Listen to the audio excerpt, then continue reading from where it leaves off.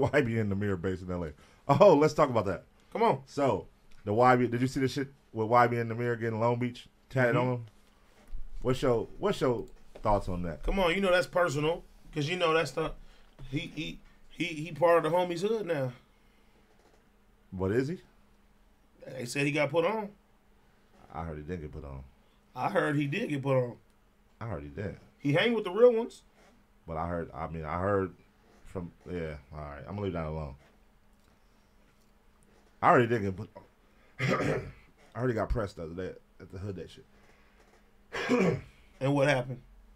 I don't know, Cause I you was there. They was with each other on the hood day. but it was it was two different groups, Ah, well, the two. older and younger. You gotta remember that's younger. Well, well, half of the hood don't really get along with the other half of the hood. That's every hood right now. True, but the half that he do fuck with, they rocking with him.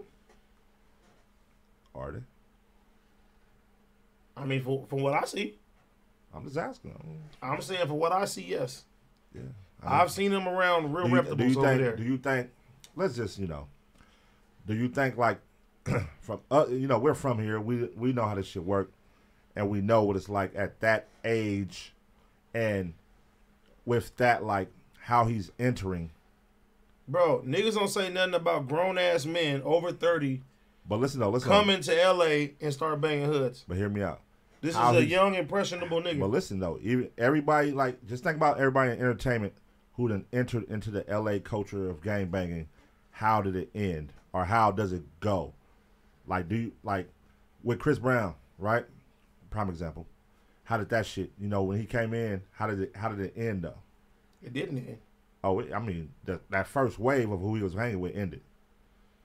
Yeah, but Chris still banging, ain't he? But I'm saying, like it, it, it's like everything be good until everything is not good, and then they turn. You know what I'm saying? And then what started happening? And you remember the first circle, the first wave of who was for around? sure, for sure. Yeah, they're gone. You know what I'm saying?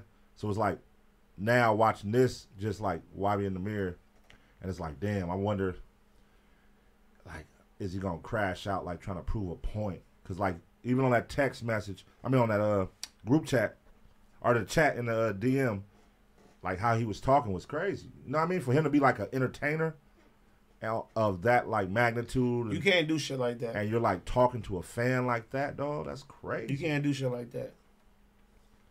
That's crazy. And I'm like, do you think he mean that, or do you think he like was just talking? And that's where it gets scary, right? Because like, you know, nigga, that shit when you get put on, or you're not from here, and then you be you're able to like d- be validated and people embrace you, but it's really not a real organic day one embrace. See, but you know, how- you know, this is two thousand. It's two thousand twenty-two, man.